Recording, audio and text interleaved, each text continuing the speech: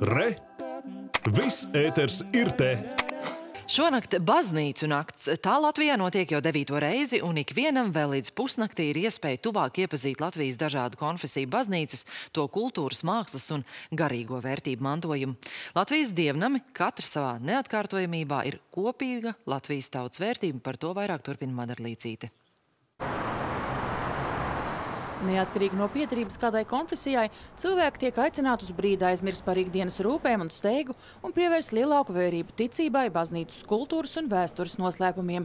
Tradīcija uz vienu vakaru vēr dievnām durvis un aicināt tajā ielūkoties visus, kā ticīgos, tā neticīgos, uz Latviju atceļojas no Austrijas.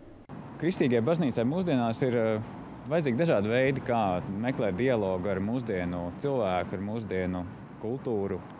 Un uh, baznīcas nakts ir iespēja, es teiktu, ka tā būtībā ir satikšanās, kurā cilvēks ir aicināts uh, redzēt to skaisto, kas ir baznīcās, to arhitektūru, mākslu, uh, dzirdēt mūziku, sakrālo mūziku. Baznīcās šovakar notiks koncerti, dažādas ekskursijas un pat iespēja aplūkot apkārtni no baznīcas torņa. Svētās ģertrūdas dievnama durvis atvērts jau no agra rīta un apmeklētāji tiek gaidīti līdz pusnaktī.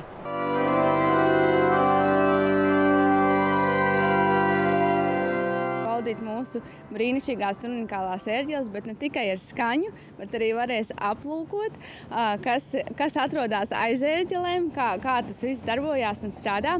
Kā arī būs iespēja dzirdēt stāstu par baznīcu, par augšējo zāli, kā arī mēs lepojamies par, ar mūsu ģertrūdas pagrabu, kas ir ļoti plašas un apdzīvotas telpas.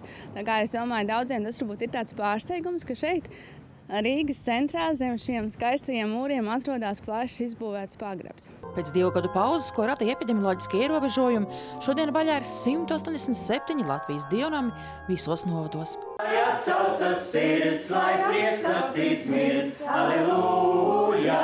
Madara Līcīti, Ivo Žepickas, Latvijas televīzija.